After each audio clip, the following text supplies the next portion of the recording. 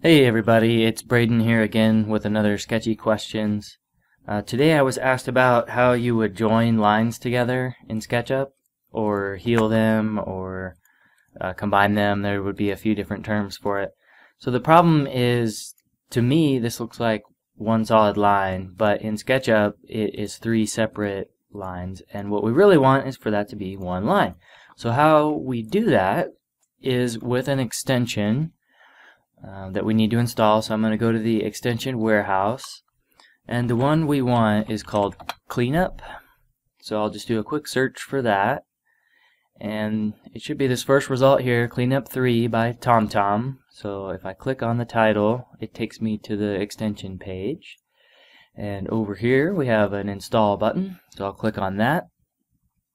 And it asks, do you want to install this extension? I'm going to click yes.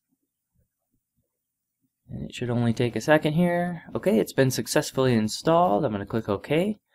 And you'll notice here this other dialog box says that we need to install another plugin called ttlib2. So I'm going to click on download. And it should open that page up. And same process here, I'll just click install. And I'm going to click yes. Okay, so it says it's now available for my use. I'm going to close out of there.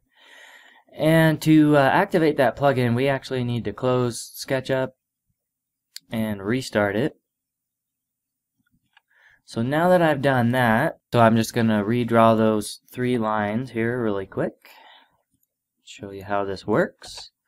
So here in SketchUp, I've got my three separate entities.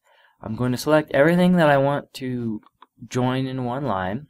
And then I'm going to go into my plugins menu here you'll see now we have cleanup 3 and there's a lot of different options here but the one we want is called repair edges so I'm going to click on that. And that should be all there is to it. If I unselect here and now select it again you can see it selected the whole line in one shot which means it is one item. So that's one way that you could uh, repair broken lines in SketchUp. Uh, another way is to use a slightly different plugin and you can find that one on this website called Smustard. It's smustard.com. And when you get here, you'll just do a search for Weld. That's the name of the plugin. And this one's free as well. So if you install this plugin, it accomplishes the same thing in a slightly different way. So that's all for today. I hope that helped. See you next time.